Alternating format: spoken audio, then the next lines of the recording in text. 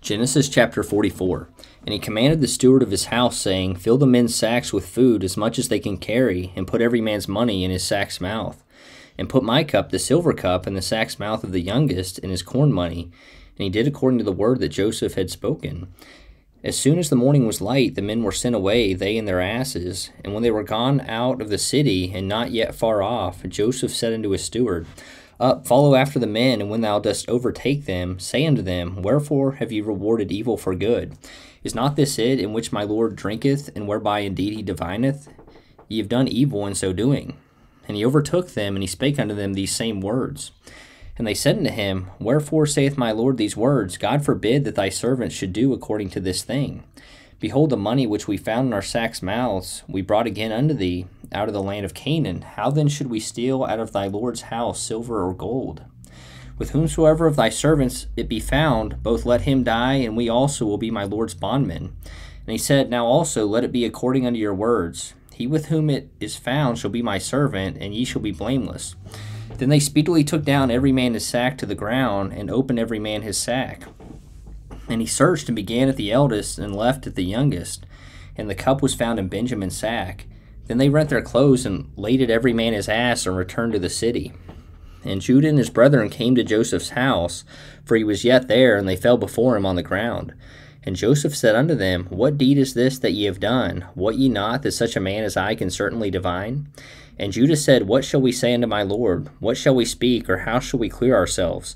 God hath found out the iniquity of thy servants. Behold, we are my Lord's servants, both we and he also with whom the cup is found.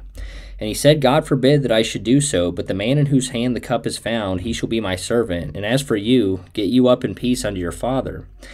Then Judah came near unto him and said, O my Lord, let thy servant, I pray thee, speak a word in my Lord's ears. And let not thine anger burn against thy servant, for thou art even as Pharaoh. My Lord asked his servants, saying, Have ye a father or a brother? And we said unto my Lord, We have a father, an old man, and a child of his old age, a little one. And his brother is dead, and he alone is left of his mother, and his father loveth him. And thou saidst unto thy servants, Bring him down unto me, that I may set mine eyes upon him. And we said unto my Lord, The lad cannot leave his father, for if he should leave his father, his father would die. And thou saidst unto thy servants, Except your youngest brother come down with you, ye shall see my face no more. And it came to pass, when we came up unto thy servant my father, we told him the words of my Lord. And our father said, Go again and buy us a little food. And we said, We cannot go down. If our youngest brother be with us, then will we go down, for we may not see the man's face, except our youngest brother be with us. And thy servant my father said unto us, Ye know that my wife bare me two sons, and the one went out from me. And I said, Surely he is torn in pieces, and I saw him not since. And if ye take this also from me, and mischief befall him, ye shall bring down my gray hairs with sorrow to the grave. Now therefore, when I come to thy servant my father, and the lad be not with us, seeing that his life is bound up in the lad's life, it shall come to pass, when he seeth that the lad is not with us, that he will die. And thy servant shall bring down the gray hairs of thy servant our father with sorrow to the grave. For thy servant became surety for the lad unto my father, saying, If I bring him not unto thee, then I shall bear the blame to my father forever.